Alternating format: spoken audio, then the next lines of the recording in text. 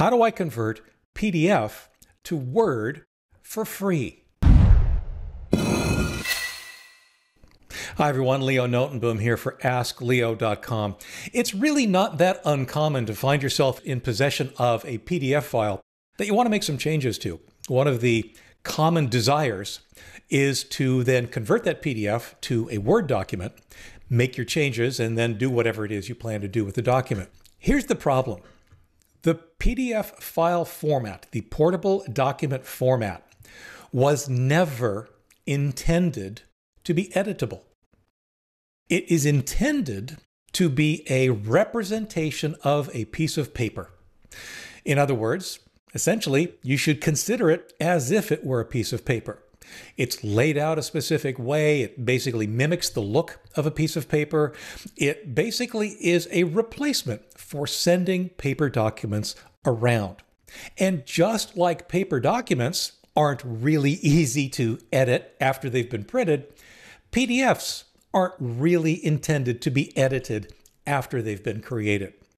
However, there are ways, of course, with paper.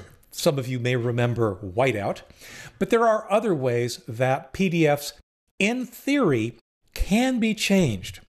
It's not what I recommend, and I'll explain what I do recommend at the end of this video, but the short answer is it may be possible, it just may not be pretty. Let's convert a PDF to Word, and you'll see some of the issues that might arise. So I have a PDF, in fact, I have a bunch of them. If you've ever seen any of my books, you'll notice that they all tend to come in PDF form, among others. I'm going to take the free version of Internet Safety here, V6, and open it up, and we'll just go ahead and just use Microsoft Edge so we can see what's inside the thing. Uh, we'll go ahead and scroll. You can see it looks, like I said, like a sequence of printed pages. And in fact, you could take this document and print it to 8.5 by 11 pieces of paper, double sided if you like, and it will look like a very good printed document. However, what if we wanted to make changes to this? Well, I'm going to close that and close this. And I'm going to go ahead and bring up Edge again, although this time I'm going to go to drive.google.com. You may need a Google account for this. I'm honestly not sure. It wouldn't surprise me if you did. The bottom line here, though, is that Google Drive will turn out to be the way we can convert a PDF to a doc. So we'll click on New and we will upload a file. The file I'm going to upload is my Internet Safety v6 free.pdf. And there it is. It's in Google Drive. Nothing has happened yet. However, if I now right click on it and say open with Google Docs, Google Docs, as you may know, is the equivalent, if you will, to Microsoft Word. It's Google's free online word processor. And you can open PDF files in Google Docs. Okay, it is processing. You'll notice that it's going to take a few extra seconds to open that document as it goes through the conversion process. And here we are. Right away, you'll notice that it's different. Our cover page, the title page that had the full page picture of the title of the book and the author and all that kind of stuff, it's gone right? That's all gone. As we scroll down, you'll notice that the table of contents, which is generated by the original document, a Microsoft Word function, is different. It's not here because that function didn't survive the translation. If we go down further, you'll notice that yeah, okay, things look kind of kind of okay, except that the pagination is all wrong, right? We've got the bottom of page 2 but the top of page 3 on the same quote unquote page in Google Docs you get the idea.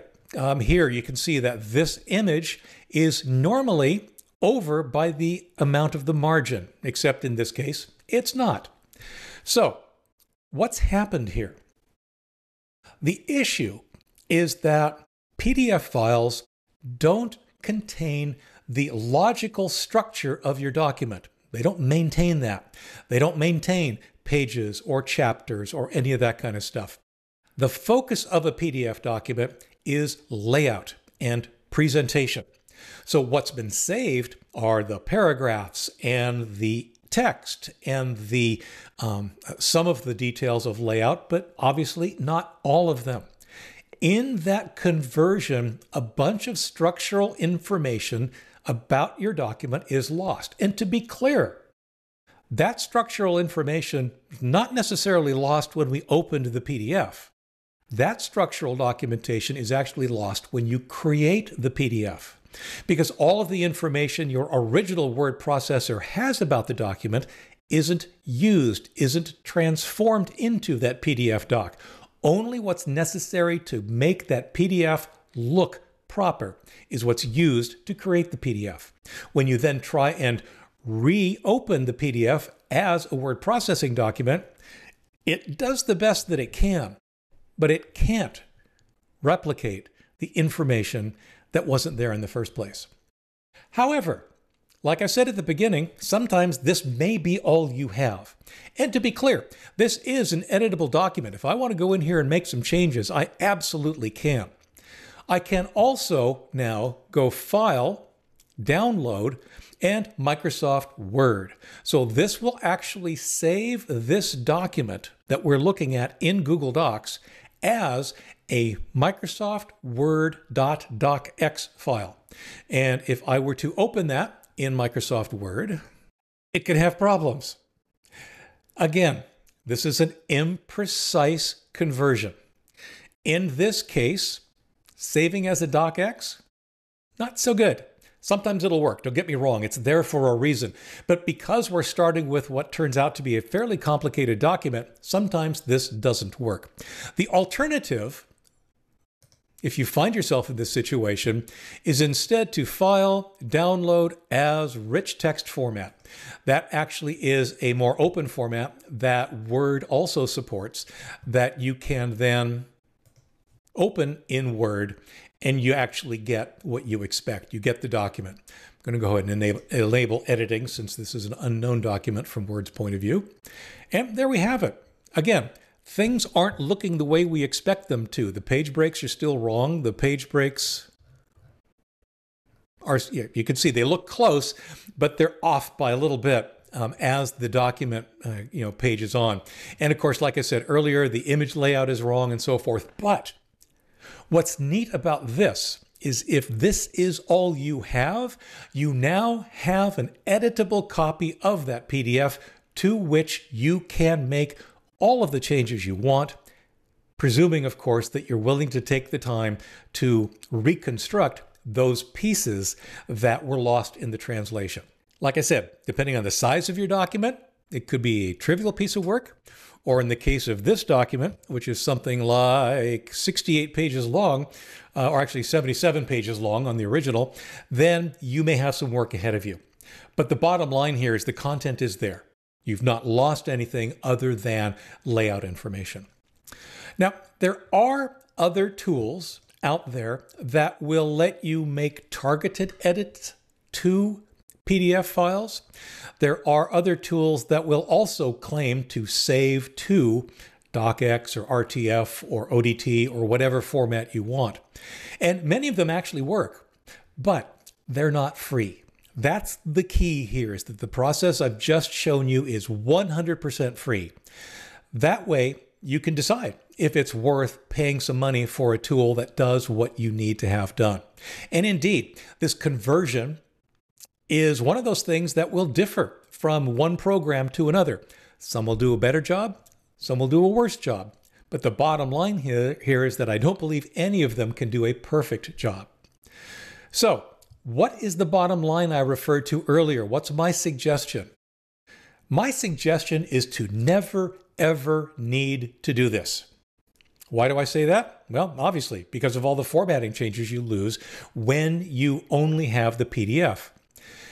If you want to do this, if you want to be able to make changes to a document after you've sent it out as a PDF, keep the original. Keep the original document you were working with, be it the .docx, the .odt, whatever it is you originally wrote and saved the document as. Then save that as PDF, distribute it all you like, however you intend to use it. But when you later decide you need to make a change, go back to your original, the .docx file where all of the information you care about is there, make your changes, save a new PDF, and move on. That's the right solution. I realize, I totally realize that it's not a solution that's available for everyone, but if you at all can do that, that's the approach I truly recommend. Otherwise, if you're looking for something free, Google Docs is your answer. For updates, for comments, for links related to this topic and more, visit askleo.com slash 167971. I'm Leo Notenboom, and this is AskLeo.com. Thanks for watching.